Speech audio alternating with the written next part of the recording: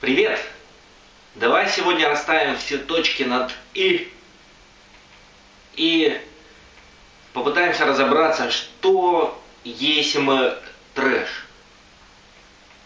Трэш это такой стиль. Спасибо, Кэп. Э, Значит, это такой стиль, который изначально позиционировался как антимелодический. Если он антимелодический, значит э, все принципы игры трэша не подчиняются какой-либо гамме. В данном случае у нас э, будет стандартная, заебанная всеми металлистами мира гамма ми минор. Напомню, как она звучит. Значит,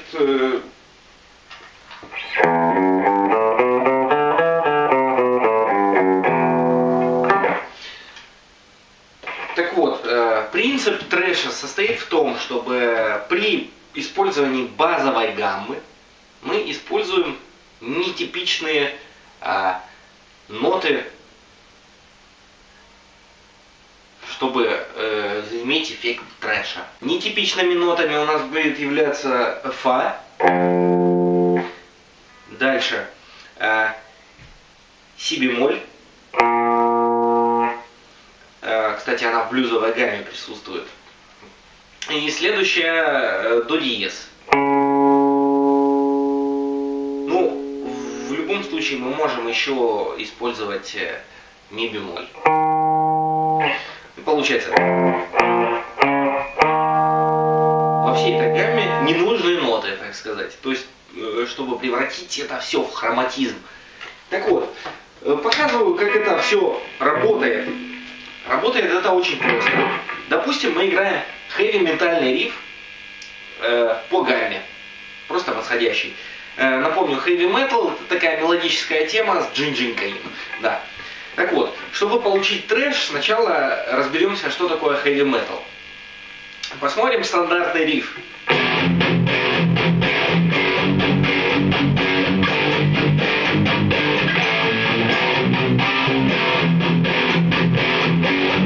Чтобы это превратить в нужно захерачить туда э, эти э, атональные ноты, то есть которые не в этой тональности. То есть если у нас в данном случае ми минор был,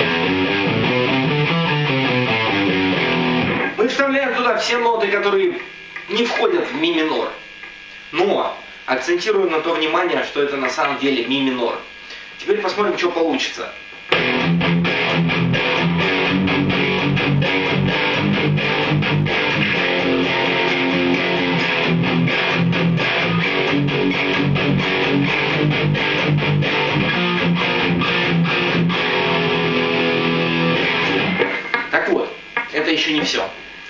Значит, естественно, это все э, описывается с помощью э, каких-то ритмических э, э, ситуаций.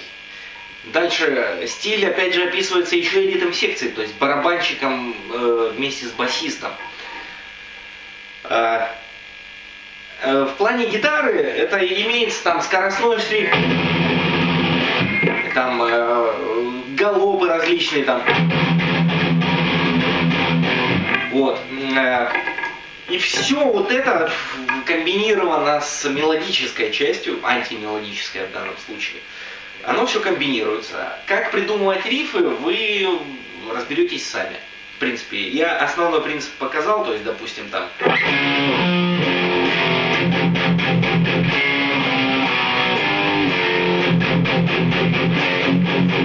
Чего хотим, то играем. Вот. Далее. Чем отличается трэш от дэт металла?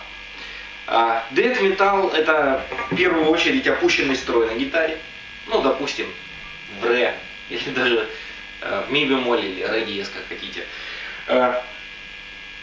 И барабанщик играет нечто другое вместе с басистом. То есть ритм секция другая. То есть а там уже присутствуют бласт-биты. Вот в трэше, как бы кто ни спорил, в трэше бласт-битов нет. Они, может быть, и есть, но они имеют уже другую функцию. Так вот, классический death metal это добавление соплей в трэш. То есть классического ми. Вот, такого плана.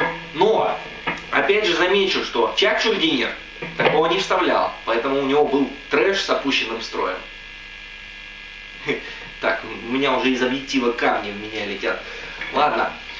А, еще. Э, соляки трэша и соляки дэт металла ничем практически не отличаются. Единственное, что пацан говорит, что он играет дэт метал, и пацан говорит, что он играет трэш метал. Разницы практически никакой. Но обычно, как говорится, добавляют сопли. Что мне еще показать? Допустим, ну, классический трэшовый риф, сейчас что-нибудь придумать. Так, придумать надо что-то. А.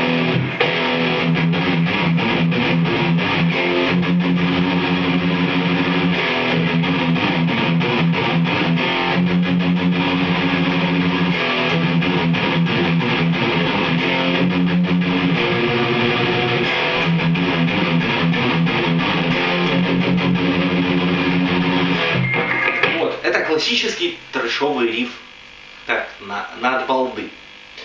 А, естественно, это все можно сделать красивее, когда есть какая-то определенная база. Так вот, а, к чему и вообще это все? А, даже если ты рокер или там попсу какую-то рокопопс играешь, ты обязан уметь играть трэш. Вопрос зачем? А затем, что трэш это в первую очередь скрипичное мастерство. Это мега прокачка правой руки и немножко левой.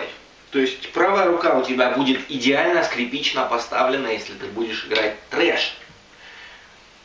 Это очень полезный стиль. Очень полезный. Очень святой. В принципе, по этому сабжу мне сказать больше нечего. Запомните, что мы выбираем гамму какую-то там, минор, фламенко, мажор. И чтобы заиметь трэш в этом плане, мы играем просто те ноты, которые отсутствуют в той гамме. Противоречит нашей мелодии, черт возьми. Все, пока.